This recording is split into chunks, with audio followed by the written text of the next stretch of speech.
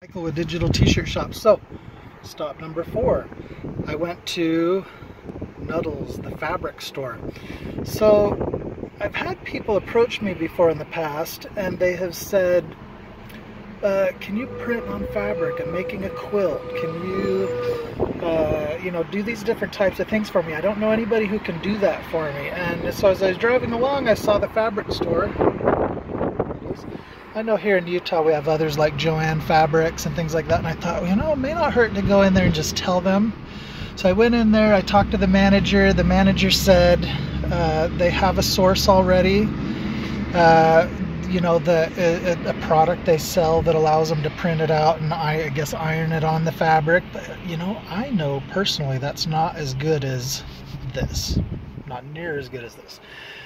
And I would imagine you're probably not going to get the image quality uh, that you would get from direct-to-garment printing that you would get on an iron-on, really honestly. So, um, but anyways, that's that's what they had, and so it's kind of interesting. But I told him, hey, well, you know, if anybody asks, anyways, it's a service I offer, and he was totally grateful and and very very nice about it, and.